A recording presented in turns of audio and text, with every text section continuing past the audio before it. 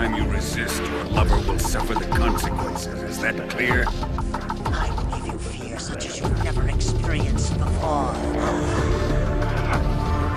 Do you hear me? I said shoot him! Fight like a man, Volgin. Boss, what is this? I'm defecting to the Soviet Union. Who is he? Another one of your disciples? Are we taking him with us? No, this one is still just a child. Ha!